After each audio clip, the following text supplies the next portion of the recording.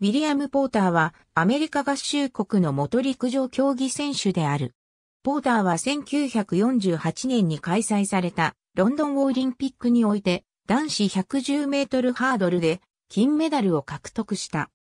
ウィリアム・ポーターはミシガン州で生まれ、1944年7月から1945年11月の間西ミシガン大学で学んだ後にノースウェスタン大学へ編入学した。ポーターはノースウェスタン大学在学中の1948年にアマチュア運動連合の110メートルハードル走で優勝し、ロンドンオリンピック出場の資格を得た。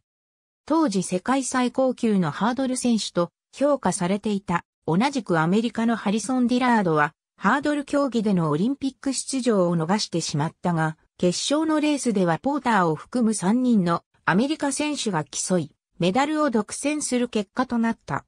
競技生活を退いた後、ポーターはノースウェスタン大学の同窓会組織で働き、後にはカリフォルニア州でセールス代理店を開業した。ポーターは2000年にカリフォルニア州アーバインで死去した。ありがとうございます。